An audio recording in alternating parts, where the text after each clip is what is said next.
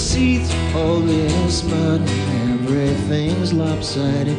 Now you got me guessing where the next shot is coming from. Okay, we're back at Linville. This is a bit different to the last time we were here. When we tried it in January, it was supposed to be a hot day, peaking at 30 degrees Celsius. We had an unexpected heat wave. It was actually over 40 degrees, and we gave up and we came back. So we've returned. It's it's July. It's cold. We're uh, we're pleasantly invigorated, and we're about to ride to Blackbutt on the rail trail.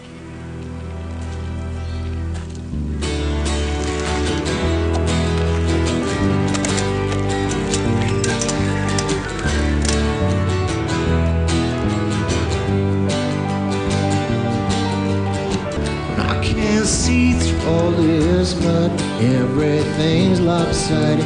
Now you got me guessing where the next shot is coming from. I can't believe all these people got me coming from. Everybody is stopping, staring. I don't even look like Elvis.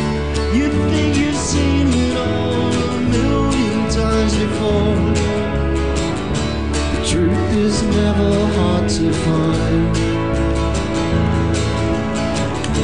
You think you've seen it. Oh, moi moi. Joo, morjes Suomi-velli. Milloin sinä ah, vitu, ta- takaisin Australiassa? Me- mennä Tonton. Joo, morjes. I cannot help comparing the Brisbane Valley Rail Trail with the Otago Central Rail Trail in South Island, New Zealand. Both are about the same length. Well, they would be if the Brisbane version was complete. Well, this is the point where we turned around and bailed out in January.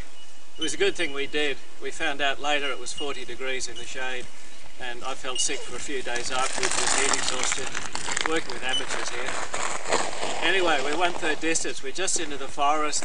It's turned green. The birds are chirping. This is where the ride really improves. Yo!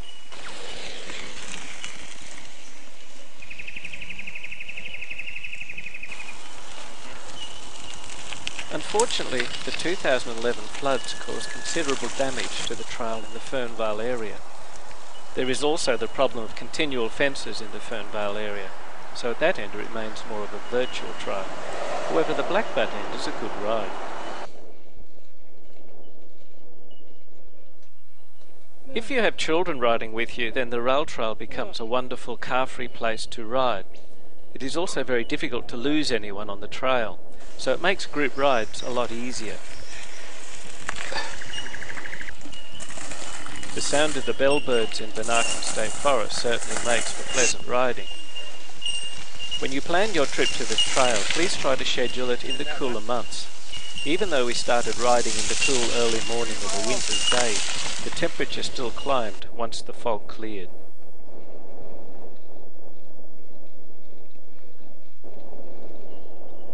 The last survey of the Otago Trail counted 14,100 trail users during the New Zealand summer year. Many of those trail users come from overseas, so it is an international draw card. There were tire marks visible along the trail, so others are definitely riding the Brisbane Trail. Just imagine if the numbers approach those of the Otago Trail.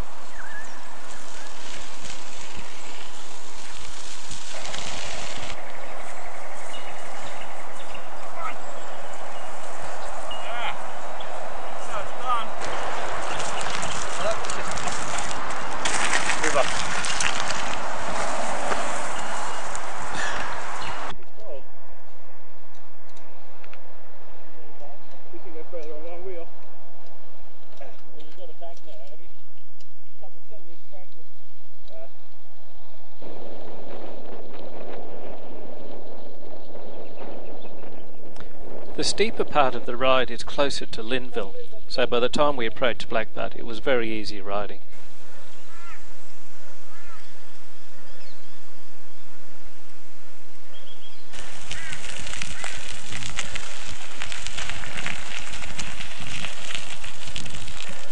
It took us two hours to get from Linville up to Blackbutt. when we left, it was in foggy conditions, it was cool, and along the way, fog's cleared, the sky's cleared, it's a beautiful day. Well, we're looking forward to the trip downhill. It's going to be pretty fast. The gradient uphill is not challenging, but it's definitely faster downhill. We're going to have ourselves a decent feed here at the, uh, what are we at? At the woodcutters. We're at the woodcutters. We're going to have a decent feed at the woodcutters, and then we're going to hit the trail and blast downhill. See you later.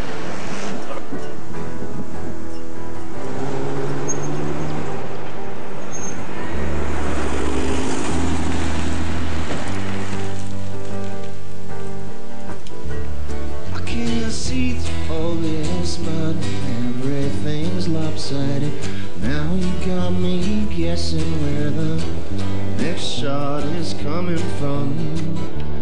I can't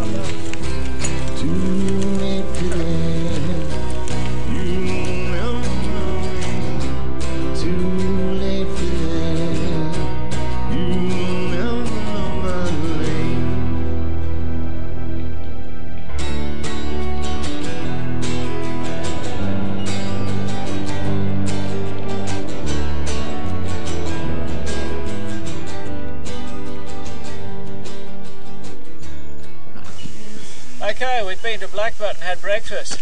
We're now back at the point where we did the famous turnaround in June, January. And we know from this point on it's downhill and it's fast and flowing. And we're going to enjoy the last eight kilometres.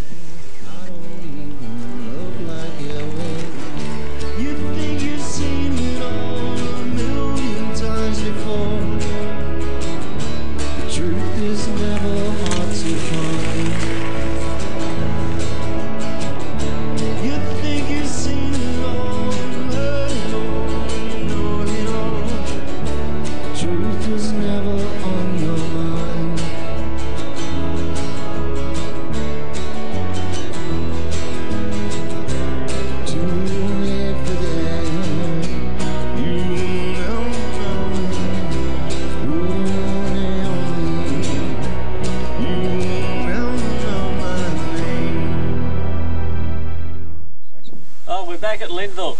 We've done the loop. The ride back's pretty good fun. It's a really good rail trail. We enjoyed riding it today.